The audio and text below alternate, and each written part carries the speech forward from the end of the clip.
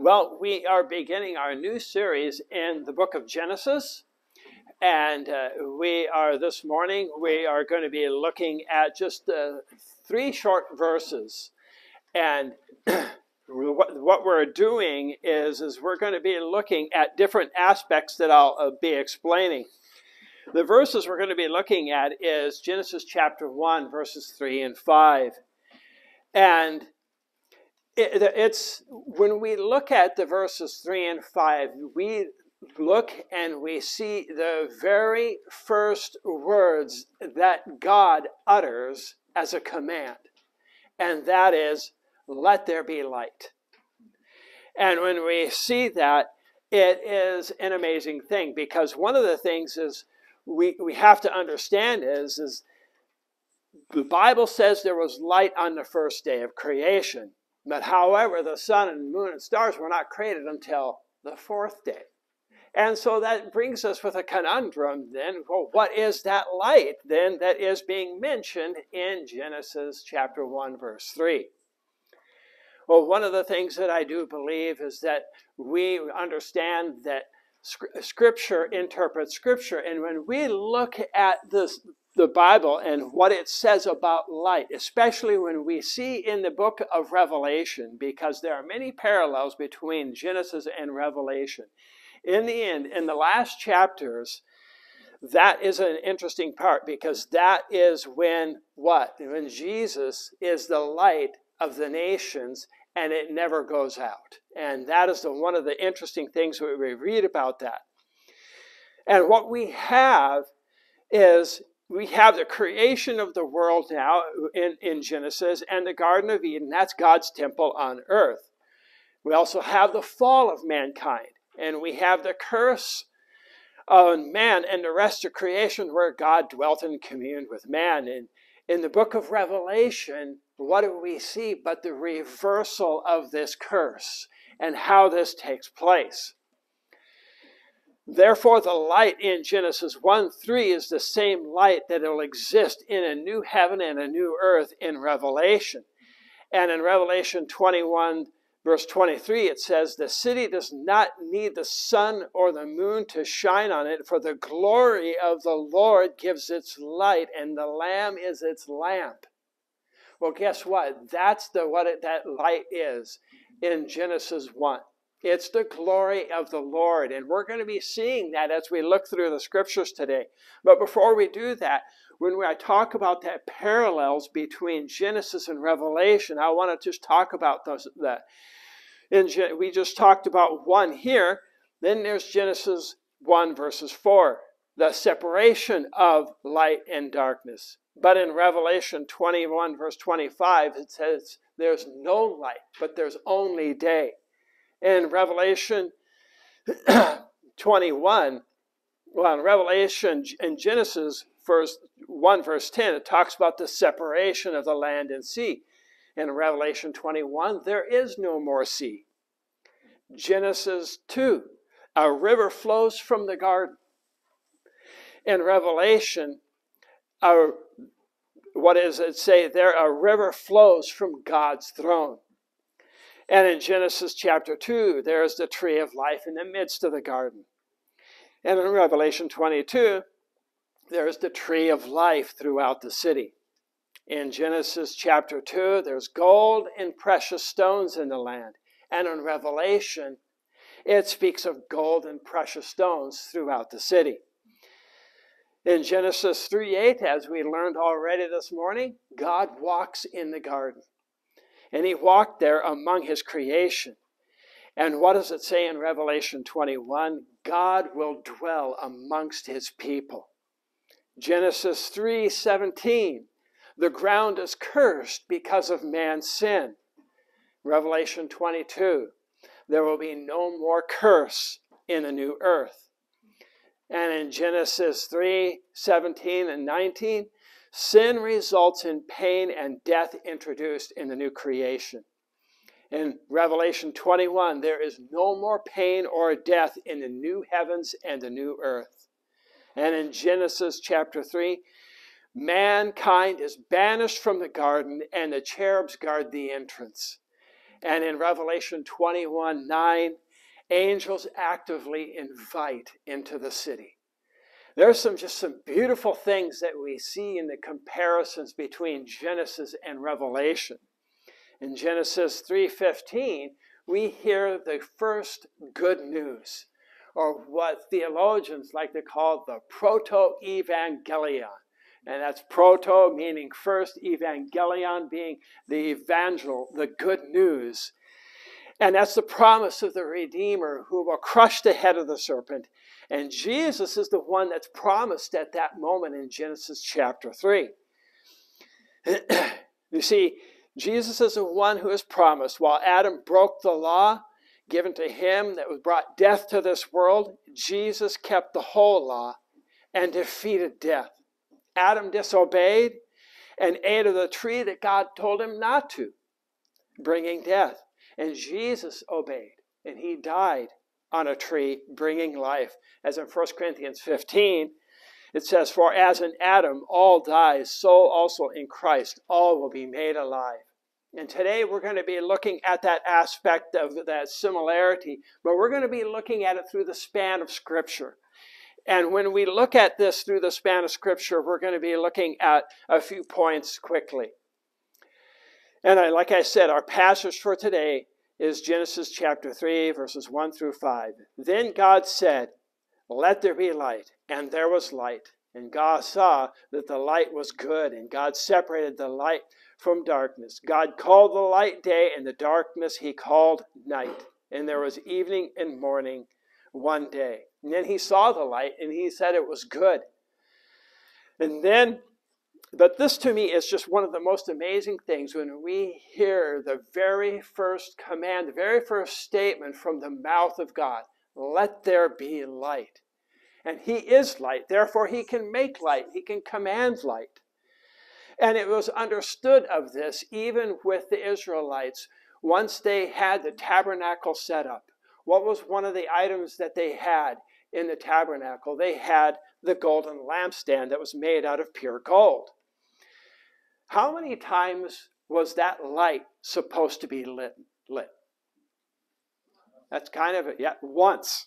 That's kind of a trick question because it was only supposed to be lit once and it was supposed to be kept lit forever.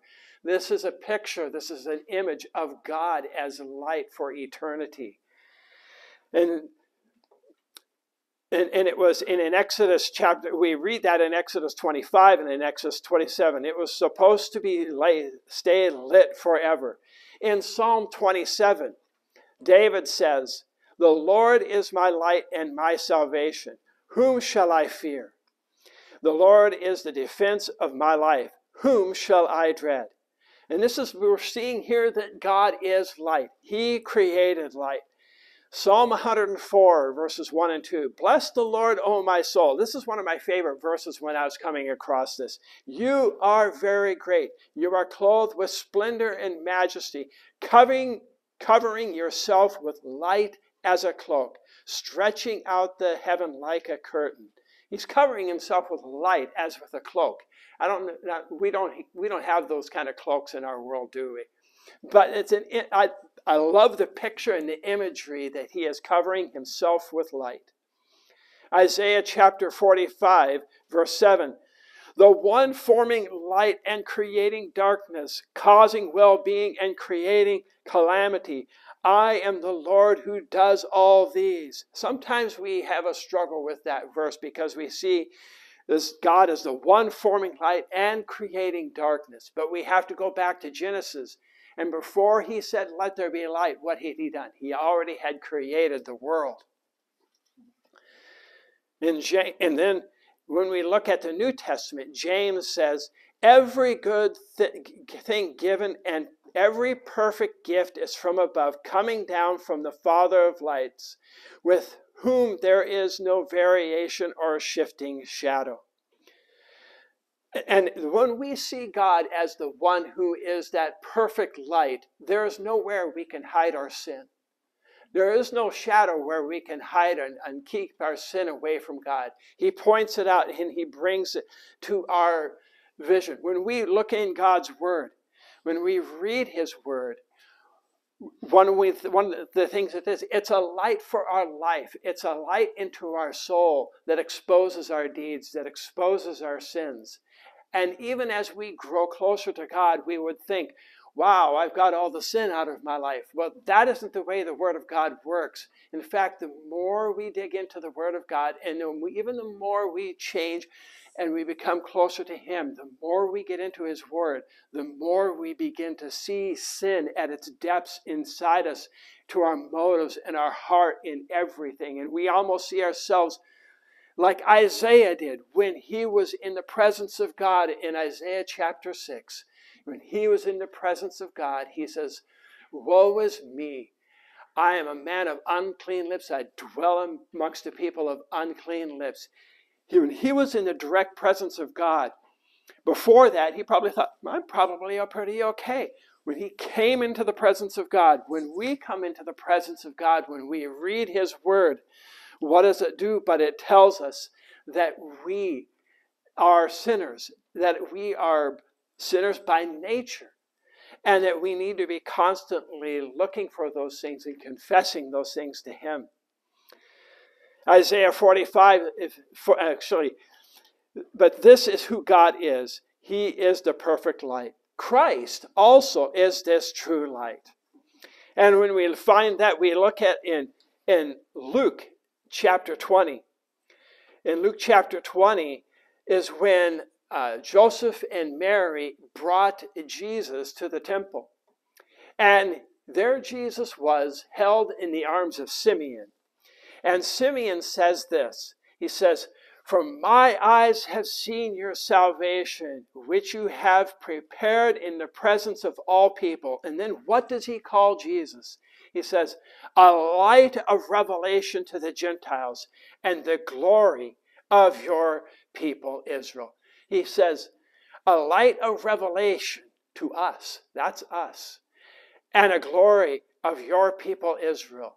And that is one of the reasons why we see that this light and this glory is together here in this passage. He is a light also to Israel, and he is the glory of those who are his children as well.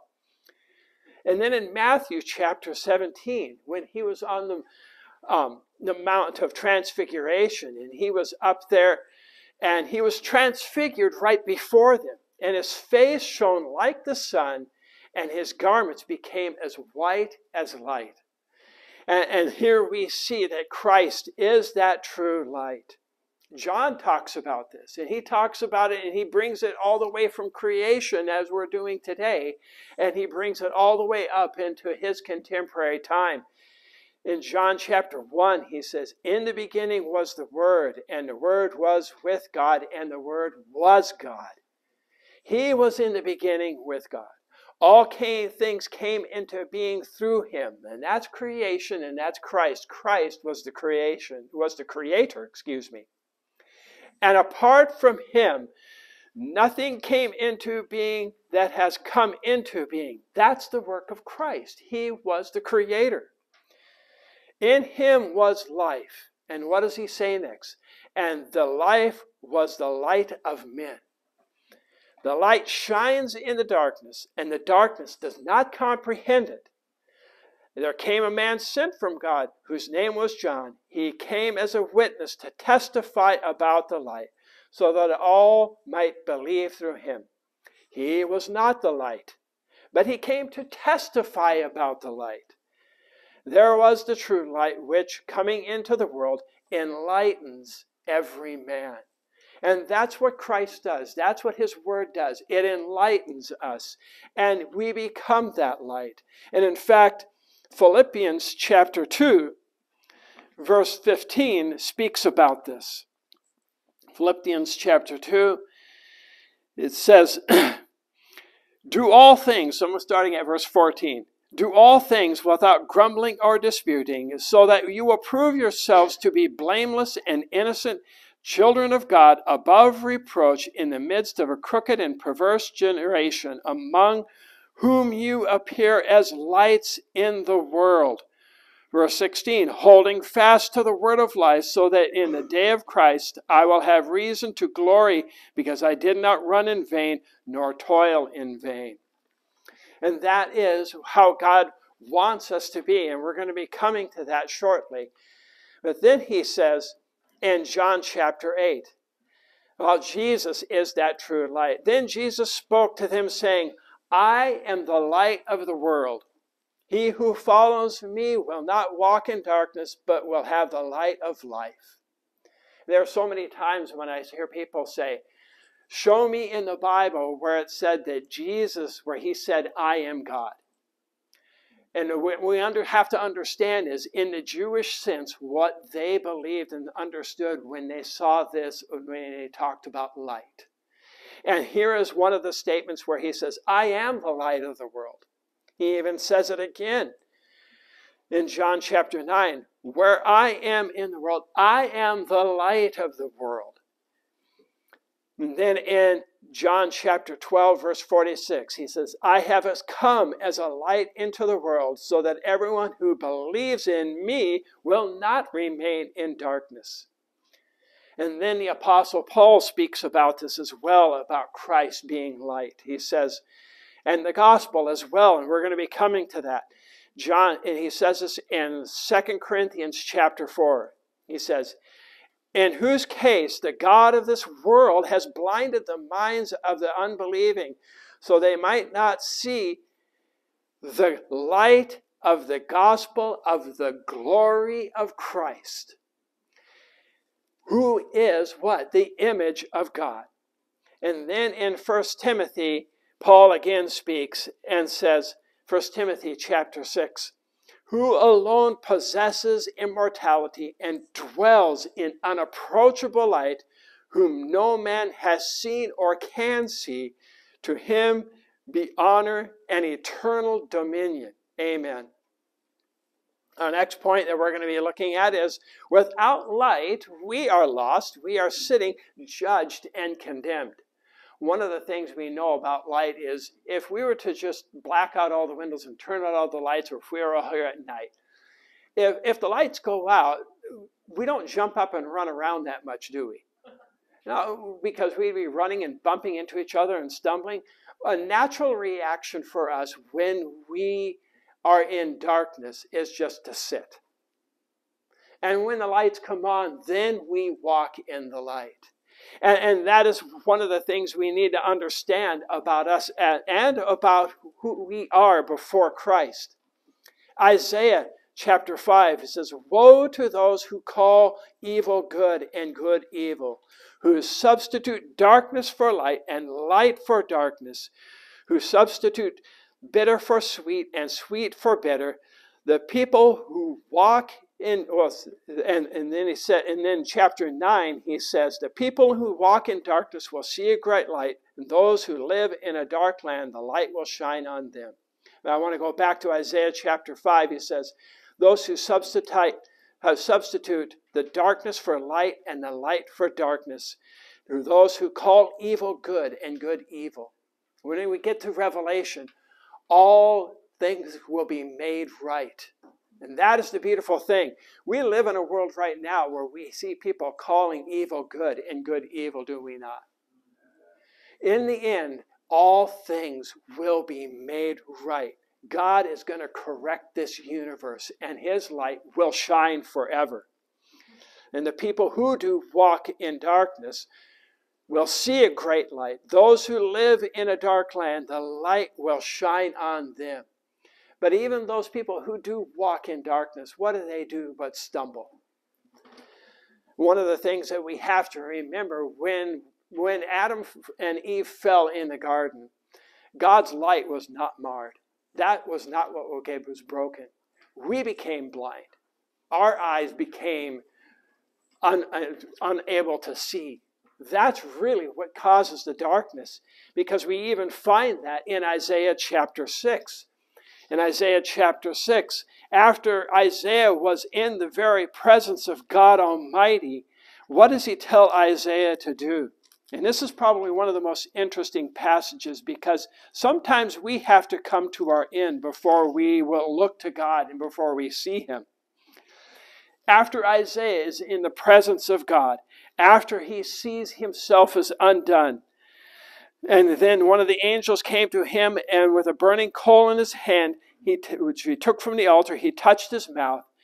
And then Isaiah hears the voice of the Lord Whom shall I send, and who will go for us? Then I said, Here am I, send me.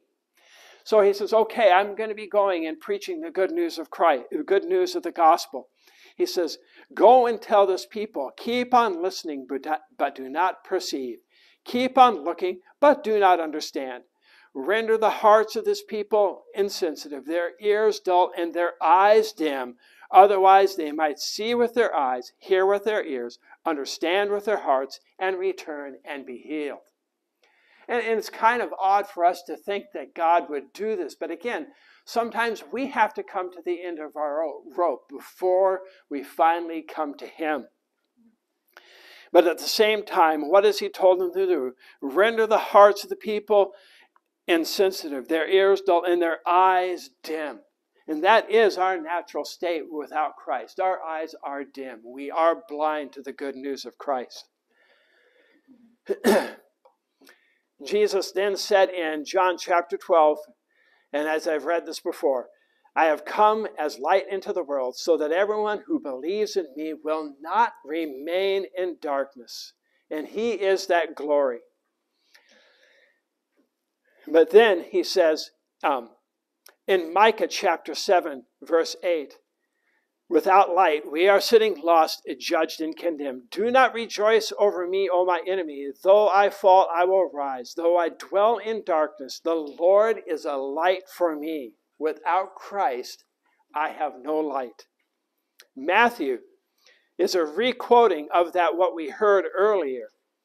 Says, The people who were sitting in darkness saw great light. And that was the prophecy coming true in Christ. And those who were sitting in the land in the shadow of death, upon them a light dawned. Paul then speaks about this very same thing. He says, For you were formerly darkness, but now you are light in the Lord. Walk as children of light.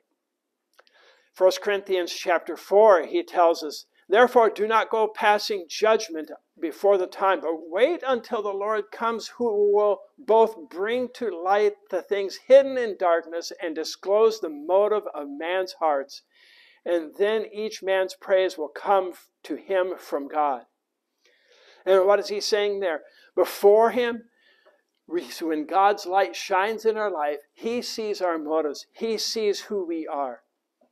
And then in 2 Corinthians, he says, Do not be bound together with unbelievers, for what partnership has righteousness and lawlessness, or what fellowship has light with darkness? Again, without him, we are sitting lost, judged, and condemned. But the light of the gospel converts us and makes us children of light. And that's the beautiful thing. And when we, we see this again, going back to this passage, says, and only this time it's not quoted in, in the Gospels, it's quoted by Paul in Second Corinthians. For God, who said, Light shall shine in the darkness, is the one who has shown in our hearts to give us the light of the knowledge and the glory of God in the face of Christ. So, light is the glory of God that we are speaking of here but it is also that which converts us. Colossians chapter 1 says, Giving thanks to the Father who has qualified us to share in the inheritance of the saints in light. That is a wonderful thing to hear. That we share in an inheritance. This isn't something that we earn. This light that God has shown in our hearts, not something that we do as wages. The only wages we earn in Scripture is death. The wages of sin, the Bible tells us. But we have an inheritance of light. Second Timothy, Paul again speaks, and he says, But now has been revealed by the appearing of our Savior Jesus Christ, who has abolished death and brought life and immortality to light through the gospel, through the good news. This is how the light comes into our life by the good news of Jesus Christ. And I think the perfect example of this is Paul the apostle was he was breathing out um, hatred towards Christians. he was on his way to kill more Christians when God got a hold of him. In Acts chapter 26 is this story that he gives us, and he says, and he's speaking to a king, and he's giving his testimony to a king, Paul the Apostle is, and he's saying, At midday, O king, I saw on the way a light from heaven, brighter than the sun, shining all around me, and those who were journeying with me. And when we had all fallen to the ground, I heard a voice saying to me in the Hebrew dialect, Saul, Saul, why are you persecuting me? It is hard for you to kick against the goads. And I said, Who are you, Lord? And the Lord said, I am Jesus, who you are persecuting. So we have a picture of Jesus here as light. He's speaking and he's saying this. But then he says, But get up and stand on your feet for this purpose. I have appeared to you. And what is he going to be telling him next? It's something probably very interesting. He appeared to him as light. He said, I am Jesus, the one you are persecuting. And what does he say? For this purpose I have appeared to you to appoint you a minister and a witness not only to the things which you've seen, but the things in which I will appear to you. And then he says, rescuing you from the Jewish people and from the Gentiles to whom I am sending you. And then what does he say?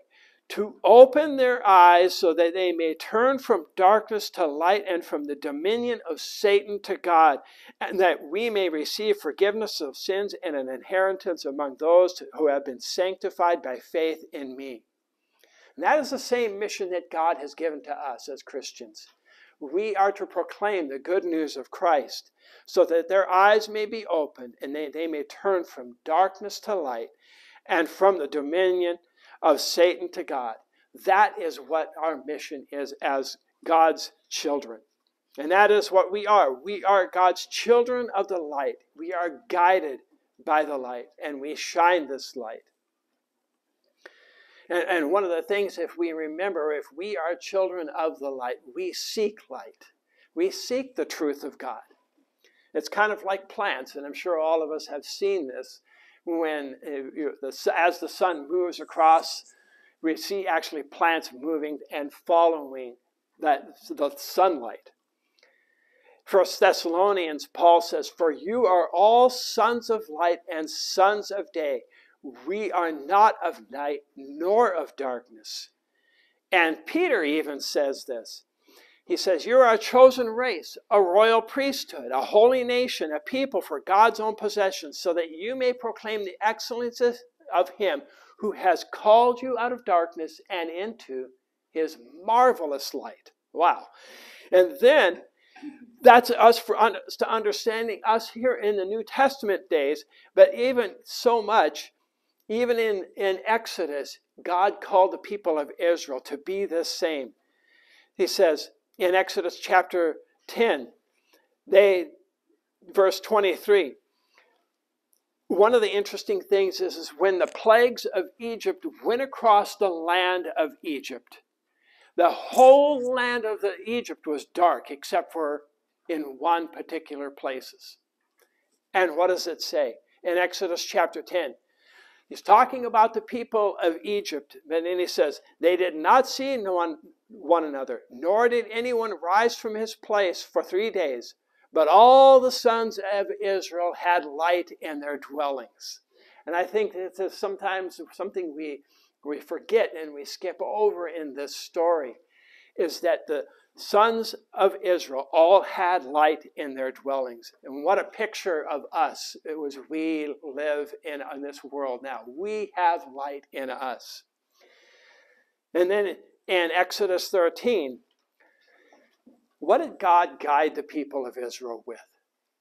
A pillar of cloud by day and a pillar of fire by night to give them light that they may travel by day and by night. Wow. That is a wonderful thing. We are children of the light. We are guided by light in the same way they were.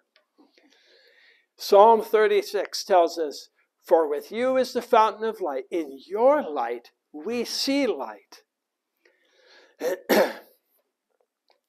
Psalm 56 You have been delivered You have delivered my soul from death, indeed my feet from stumbling. Remember, if we stumble around in the dark, so that I may walk before the light, before the Lord, before God in the light of the living.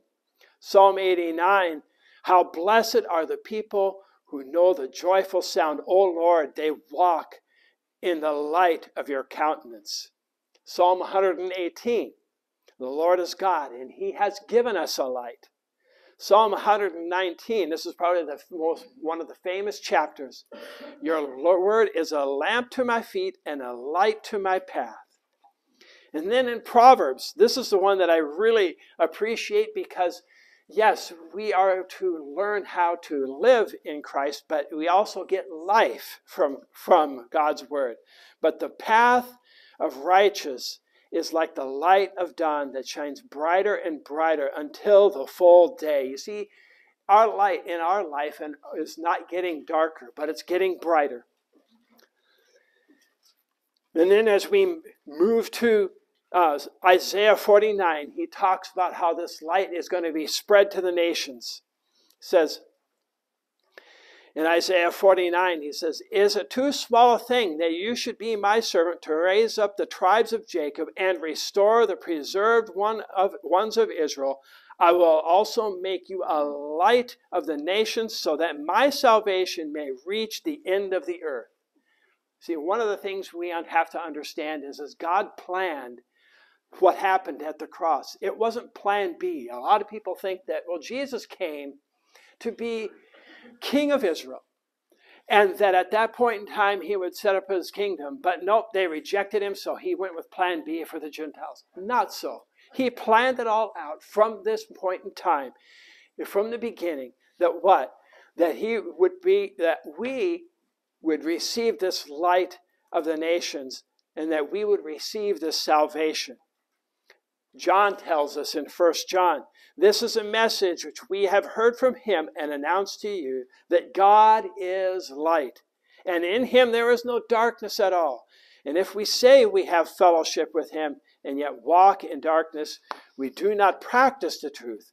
But if we walk in the light, as he himself is in the light, we have fellowship with one another. And what that happens next. And the blood of Jesus Christ cleanses us from all sin. The light cleans, the light heals. And I think that's something for us to understand as we are children of the light and that we walk and that we shine the light. And I think that's important for us to understand that we shine this light as too. We walk in the light, we receive the light, but that we also share this light. We shine this light to the world. Because in, in the Sermon on the Mount in Matthew chapter 5, he, what does he say? You are the light of the world. A city set on a hill cannot be hidden, nor does anyone light a lamp and put it under a basket, but put it on a lampstand, and it gives light to all who are in the house. Let your light shine before men in such a way they may see your good works and glorify your Father who is in heaven. And in Romans chapter 9, Paul reiterates this very same thing, and he says, And are confident that you yourself are a guide to the blind, a light to those in darkness.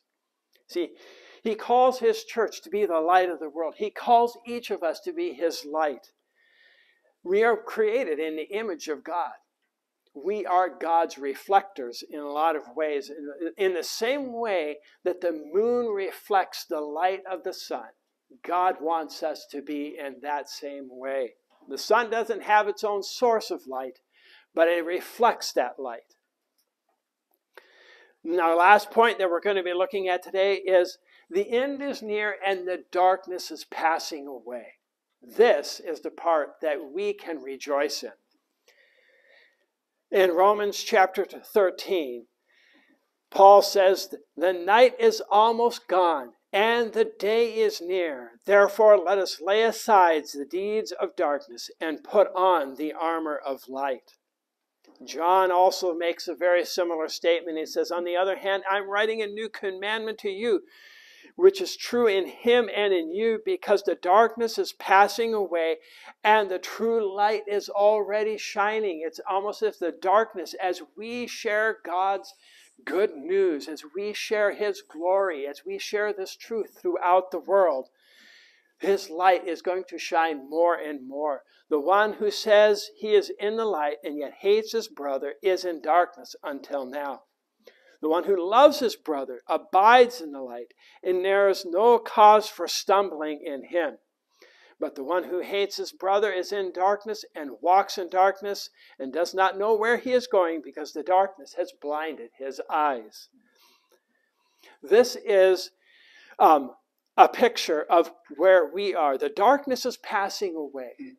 And that's the way it needs to be in our life. The darkness needs to be passing away out of our life as well. And that we let this light shine in us. And then we need to also understand that what happens in Revelation chapter 21, when this is all reversed, when all the curse of, of sin is, is being reversed, instead of struggling to walk in the light, which we do, there is no doubt that we do because John tells us we're going to have struggles. I might not like the people I have to live with around me, but guess what? This is how we see God's light and His love in our life is by loving those around us. But then in Revelation, in Revelation chapter 21, we see something absolutely fantastic. It's that consummation where all wrongs will be made right, where God's justice will have perfect um, and have a perfect ending to everything in Revelation chapter 21. And the city has no need of the sun or of the moon to shine on it, for the glory of God has illuminated it, and the lamp is a lamb. The nation, the nations will walk by its light, and the kings of the earth will bring their glory into it. In the day in the daytime, for there will be no night there. Its gates will never be closed, and they will bring glory and honor and, and, the honor of the nations into it. And see, this is where God dwells, where there will be no night. And this is going to be perfect daylight for all of us. It's going to be that final consummation. And he reiterates this again in Revelations chapter 22, verse 5. And there will be no longer any night and they will have they will not have need of the light of a lamp nor the light of the sun because the Lord God will illumine them and they will reign forever and ever. And that is probably one of the most beautiful things for us to understand that we will be as as we walk in this world we understand that he created this world he created light and then we understand that Christ is that true light that came. And that without Christ, we are lost. We are sitting judged and condemned if we have not given our lives to Him, if we have not come to the saving knowledge of Christ. And that light of the gospel does convert us, and it makes us His children, children of the light. And that as children of the light, we are guided by that light, and we shine that light. And we also understand that there is hope. And that hope is sure and that hope is certain. That even though the world that we live in has darkness all around it, we shine that light, but we also understand that there is coming a greater light. And that will one day be the true light, Jesus, when he comes to rule and reign in this world. And that is a day that I am absolutely looking forward to. But none of that could be possible without Christ, the true light, giving his life for us, of him taking our sin on the cross and putting that light of life within us. Let's pray. Our dear Heavenly Father, we come to you. We admit that we, without you, walk in darkness. We stumble around. And even so, now we, from time to time, put ourselves willfully into these positions where we're stumbling around in the darkness and we need to be in your word we look as your word and we need to be living as your word tells us as a lamp for our feet and a light for the path. And lord we pray that we would constantly be opening your word, letting this light shine in us, pointing out where we need to be guided in our life, and that one day all of this will have be consummated with you in a kingdom where we will dwell with you forever in a city that has no night. In these things we pray in Jesus' name. Amen.